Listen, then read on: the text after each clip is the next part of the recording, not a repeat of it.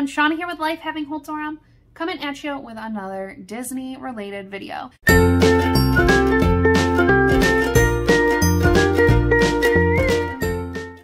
An iconic ride that was originally made for a World's Fair by Disney, so it has been in this park since opening. Before we get started, if you could please give this video a like and subscribe down below. All right, so here we are talking about It's a Small World. There is no height requirement on this ride, and it is a slow moving boat ride. It's actually relatively easy to board, and you can utilize DAS. If you are utilizing DAS with a wheelchair, you're gonna return at your return time to the exit as the queue line is not wheelchair accessible so you have to enter through the exit. They have a special line for you there. You park your wheelchair or stroller as a wheelchair down in this area just off the loading dock. They keep it safe for you there. However, if you cannot transfer from your wheelchair or mobility scooter, they do have one handicapped accessible boat, at least one, handicap accessible boat that you can ride or roll right onto. They lock you in place and then the rest of your family sits around you and you can enjoy the ride. If you are not utilizing your wheelchair or scooter, you just have to be mindful that there is a small step down and into the boat, but it's relatively easy to get in and out of.